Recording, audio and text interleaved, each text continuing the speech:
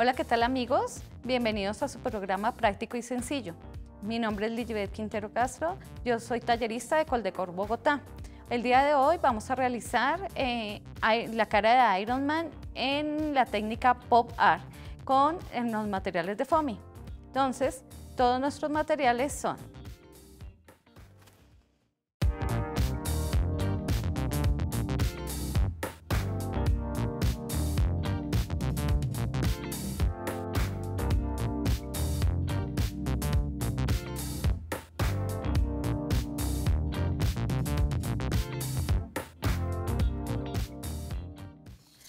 Bueno, entonces lo primero que tenemos que hacer para trabajar esta técnica es tener un diseño. En el caso eh, de hoy vamos a trabajar, vamos a hacer como la máscara o la cara de Iron Man.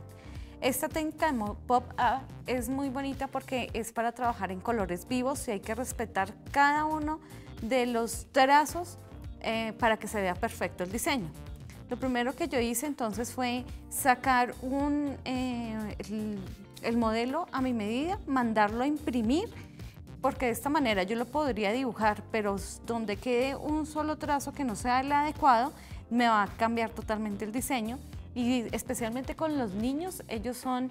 Eh, o sea, eh, la evaluación que ellos hacen es muy perfecta y si a veces cambia un poquito, así sea la simetría, para ellos va, eh, mm, la gran mayoría va a pensar que no es, digamos, el diseño o no es el adecuado. Entonces, respetando este diseño, lo mejor es mandar a imprimir el, modelo. Entonces, ¿qué es lo que yo hago?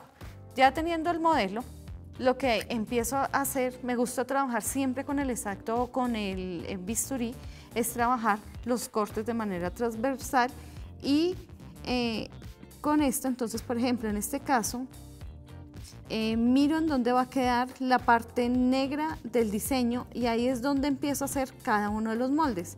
Entonces, por ejemplo, voy a sacar como la parte de la quijada o la parte de adelante de la cara y hago el diseño, pero voy a quitar el negro. Entonces, mi corte va a ser de esta manera. Así. Aquí, por ejemplo, hay una curva y esa es la que tengo que realizar de manera perfecta. se voltea y cortamos. Igual entonces hacemos con esta. Se supone que aquí vendría totalmente unida la máscara, pero yo lo que quiero para que quede mucho más perfecto el diseño es hacer un corte. Y de esta manera voy sacando el molde. Entonces, así hacemos con cada una de las partes de este diseño. Voy a mostrar cómo queda el corte. Y así ya quedaría mi primer molde. Lo mismo haría con la parte de arriba. De acá. O con esta parte que es eh, la zona lateral de la cara en este caso sería la parte derecha también tendría que sacar el molde para que luego al pasarlo al FOMI vamos a ver cómo queda, se va a notar el fondo. Cuando trabajen con el bisturí, tengan mucho cuidado, pero siempre trabajenlo acostado para que el corte sea perfecto y así va quedando nuestro diseño. Entonces yo de esto mismo voy a, eh, a ir sacando los moldes que son los que voy a pasar luego al foam. Cuando ya tengo los, los moldes, voy mirando, voy, eh, tengo que estar revisando según el, el dibujo dónde va a ir cada, o sea, qué color va a utilizar cada uno. En este caso, entonces los primeros moldes que saqué, esta sería una parte que yo tendría que pasar en un amarillo quemado. Entonces lo vamos a pasar, cojo mi foamy y lo vamos a pasar según la textura. Entonces yo procuro, o, como consejo les digo, que utilicen un lápiz con buena punta. ¿Por qué? Porque ustedes al pasarlo dentro del foamy, si tiene buena punta, no va a ampliar el molde. Y simplemente lo pasan de manera directa al foamy. Si, por ejemplo, ustedes no, no, lo hacen, o sea, no tienen habilidades al cortarlo con el bisturí, pueden hacerlo también con la tijera. O pueden hacerlo con el bisturí, pero que no les quede de pronto muy recto porque no tienen la habilidad de corte. Entonces lo que pueden hacer es pasar el molde eh, al revés y que luego cuando ustedes hagan el corte, entonces sea el que coloquen al lado derecho del, del dibujo. O sea, es así. Entonces yo ya voy a empezar a hacer mi corte siempre trabajando con el bisturí acostado. Y, por ejemplo, en este caso que ya tengo que dar una vuelta, yo prefiero no levantarlo porque eh, si no se tiene cuidado, quedaría una pestaña o, se vería el, como una parte en donde yo levanté el bisturí y no me quedó eh, perfecto el corte, por decir algo, no, no, no hubo un corte continuo. Entonces yo prefiero simplemente no levantar el bisturí. Y ahí voy cortando cada uno de los diseños. Como ahí ya llegué a una esquina, entonces sí lo levanté pero sigo por cada guía de las que eh, realicé con él en molde. Y de esta manera va a quedar entonces un corte perfecto. Vamos a hacer, digamos, la parte de la quijada. Esta es ¿Por qué lo hacemos con este? Porque eh, digamos que es como la parte que más se va a ver de este diseño de Iron Man. Entonces, respetamos, por ejemplo, yo de una vez en este caso, como ya tengo una mayor habilidad con el corte, de una vez empiezo a trabajar con mi molde. Entonces de una vez sobre, sobre el molde, colocándolo, es con el que yo voy a realizar el corte. Pues ahí que tenemos que tener mucho cuidado con que no se nos vayan a levantar ninguna parte porque se nos puede correr. Pero la idea es trabajar de manera práctica y rápida cada uno de nuestros diseños. ¿De qué nos sirven los moldes? De que si usted, pues, como son diseños tan innovadores, en el momento en que usted los realice, pues es probable que de pronto le guste a otro y lo pueda vender o, o eh, quieran otro regalo igual, pues entonces usted al trabajar con sus moldes, simplemente pues ya le queda para que realice y repita el prototipo del, primer eh, proyecto que usted haya realizado. Entonces ya le quedará de manera fácil para que vuelva a lo realice. Y así, por ejemplo, en este caso ya tenemos las partes muy importantes de nuestro proyecto, que en el caso de Ironman, entonces esto vendría ya así. Tenemos es que tener muchísimo cuidado cuando lo vayamos, a pegar. Según el diseño, entonces esta sería la primera parte, sería la parte frontal de la cara. obviamente, él tiene varios eh, partes en rojo, entonces yo ya he adelantado y ya he pasado los otros moldes. En este caso, esta sería una parte lateral de la cara. Cuando trabajamos con este tipo de partes, la idea es que si yo tengo, por ejemplo, en este caso saqué esta parte lateral de la cara, entonces es mejor sacar solo uno pero cuando voy a sacar el de la parte posterior o el de la parte eh, derecha o la izquierda, pues simplemente que yo lo volteo para que me queden exactamente igual las dos figuras que voy a sacar del mismo molde. Entonces en este caso yo tuve que haber sacado, haber pasado este y entonces para que me quedara el mismo lo que hice fue voltearlo acá y sacar dos partes totalmente simétricas y cortamos. Como pueden ver, es un proyecto muy fácil. Este también lo pueden, por ejemplo, si ustedes quieren darle, eh, pintarlo y darle más sombra, lo pueden hacer. Pero entonces, eh, eh, según la técnica Pop Art, es, estos son colores muy planos, casi no tienen sombra, sino prácticamente lo que le da la, mm, que no sea continuo.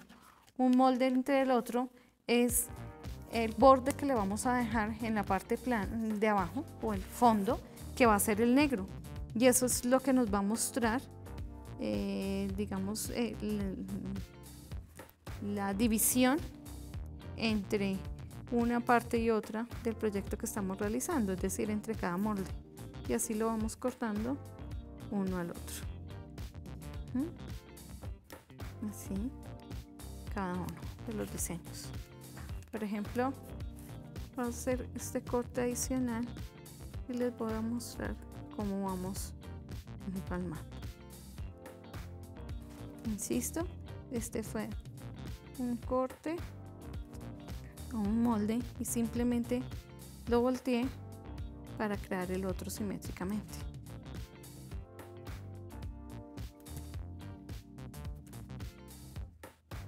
y ahí el que de pronto que no tenga mucha habilidad con el bisturí también lo puede realizar con la tijera. Lo que pasa es que tiene que tener cuidado de que al cortar no amplíe el molde porque eh, puede ser que entonces le quede eh, diferente el molde según el, el, proyecto. Es decir, que si yo corto, por ejemplo, con la tijera no me voy a ir por todo el borde, sino tiende a correrse un poco. Entonces así tendría que hacerlo de esa manera con cada uno de las partes. Vamos, el, el ensamble es muy sencillo porque lo que vamos a hacer es que cogemos entonces, en este caso, por decir algo, nuestro foamy negro. Y ahí es donde vamos a empezar a ensamblar cada parte, en este caso de Iron Man. Y mire que ahí ya van saliendo la figura del diseño. En este caso sería uno transversal. Yo miro aquí lo tengo en la medida adecuada a eso. Entonces, ¿qué hago yo? Comparo en dónde iría mi, diseño. En este caso, este sería de acá. Y aquí entonces es donde yo vendría a cuadrarlo, como que vendría a quedar aproximadamente aquí. Me falta es una quijada. Y ahí entonces ya vamos ensamblando cada uno, así, lo vamos cuadrando. La sombra si se dieron cuenta que, por ejemplo, aquí como yo lo mantuve el fondo, entonces la idea es que estas partes negras las vamos a hacer es con el fondo donde vamos a pegar, digamos que nuestro rompecabezas del diseño lo vamos a dejar despegado para que esa sea la sombra que vamos a mantener en el diseño. Este va a ir, se supone que este pedacito entonces va así con otro que tenemos que hacer. Entonces ese es la parte lateral de la cabeza. Entonces volvemos a nuestro diseño y sería esta, ¿sí? Pero si nosotros vemos acá, entonces haría parte, falta otra, otra figura, que es este el molde. Mírenlo acá. Entonces lo vamos a pasar al FOMI y vendría a dar dos figuras como esta. Eso es a lo que yo me refiero. Saqué una por este lado y otra vendría a ser de esta manera. Al pasarle al foamy, entonces cortamos y ya nos va creando nuestra figura. Vamos a hacer el corte. Miren qué rápido. Vamos ahí en lo que uno más se demora es sacar realmente el diseño, ya después de que ustedes los tengan. Y vean todos los colores del foamy van sacando em, los moldes y van desencañando cada una de las piezas. Esto es casi que a través de un rompecabezas, pero pues obviamente mucho más artístico. ¿Mm? Cuando trabajen este tipo de figuras, como son tan reconocidas, siempre se debe mantener, como les decía desde el principio, la misma estructura, porque donde cambie un solo trazo, puede ser que le cambie eh, la forma o eh, la mirada o, le quede mal la, eh, bueno, que forme diferente la cara o demás. Y ahí no se va a ver igual. Entonces ya miren, voy sacando cada una de mis piezas. Como se puede ver acá, este vendría a ser el lado lateral. Que sería este. Y ahí ya se va formando la figura. La idea es que siempre mantengamos una guía con el, dibujo. Con eso nosotros, como son tantas piecitas, a veces llegan a ser piecitas tan pequeñitas, entonces puede ser que no nos acordemos en dónde va cada uno. Mire. En este caso entonces la quijada vendría a quedar acá. Entonces ahí me doy cuenta que este tendría que bajar más según este diseño. Entonces esta, como la estaba colocando, normal y esta queda acá. Si ven que ahí con la ayuda del dibujo es mucho más fácil y ya podemos ver cómo va quedando cada una de las técnicas y simplemente la vamos cambiando. Así vamos a hacer con cada una de las piezas, tenemos que sacarlas así y irlas pegando. ¿Cuál es la mejor forma de ir pegando cada pieza? Es aplicarle silicona líquida, porque si ustedes la aplican de pronto con silicona caliente, se va a ver em, como, eh, como es tan gruesa, entonces se van a ver cada veta o la, silicona o el cordoncito que bota se va a alcanzar a ver a través de, del foamy. Entonces mi recomendación es que trabajen con silicona líquida o con pegante blanco, que ese cuando seca va a quedar transparente. Entonces ya con la silicona líquida cada uno de los pedacitos y lo vamos pegando. Ahí es muy fácil. Pegamos la otra y demás. Entonces así haríamos lo mismo. Sacando, por ejemplo, la parte de los ojos en el diseño va blanca. Este tiene una sombra gris debajo. Ese sería el, otro molde, que es muy pequeñito. Entre este entre esta parte de los ojos viene un bordecito, una hilerita aquí eh, gris. Entonces esa nos queda faltando. Vamos a pegar, ¿cómo pegaríamos entonces este? Vamos a aplicar silicona. Otra recomendación que yo hago es que cuando trabajen foamy no lo vayan a hacer tan al borde porque la silicona queda un poco gruesa al aplicarla y ustedes al colocarla va a tender a salirse. Entonces la idea es que mejor la coloque en, la mitad mm, del, trozo que estén haciendo, es decir, la mitad del foamy. Aquí, por ejemplo, tendrá a, ensuciarse un poquito. Esta silicona es muy fácil de retirar, igual como hasta ahora estamos haciendo la composición. Entonces, em, ahorita cortamos, ¿sí? Que hay esa sería como digamos eh, la sombra de la figura. Miren, entonces aquí yo la coloco sobre la mitad, no me voy tan en la esquina porque es probable que al aplicarlo se vaya a correr. Y así en cada uno. Digamos que entonces ya lo tenemos todo pegado y que tenemos todas nuestras partes. Entonces, ¿cómo vendría a ser el corte? ahí nos falta entonces aquí esta parte de la quijada que vendría acá abajo. Esa viene en, un, en el mismo amarillo quemado que hay acá y una sombra aquí similar en amarillo claro. Digamos que ya la tenemos entonces todo pegado, hemos cortado, entonces nos faltaría aquí la parte de los ojos que vendría en blanco, una sombra negra, aquí una parte de arriba que viene en rojo y el corte vendría a ser así. Vamos a dejar aproximadamente una pestaña de 5 milímetros y empezamos a hacer un corte por toda la figura que estamos haciendo, respetando cada una de las esquinas, porque esta va a ser nuestra base. Esta digamos que va a ser nuestra sombra. Insisto, tengan mucho cuidado con el bisturí, por eso es, este trabajo es muy bueno realizarlo, pero procuren no levantarlo para que el corte sea perfecto y siempre revisar que sea acostado. Yo estoy trabajando, por ejemplo, en este caso, el corte lo estoy haciendo sobre una tabla de corte especializada para este tipo, para trabajar con bisturí. Si ustedes no tienen esta tabla, pueden utilizar un vidrio. Yo no, les recomiendo que lo hagan sobre una tabla de madera porque esa entre corte y corte va dejando em, eh, digamos como eh, beticas, que ahí podría pasar que el, el bisturí no pase y que como que saltara. Entonces al saltar el corte no va a quedar perfecto y puede dañarle el diseño.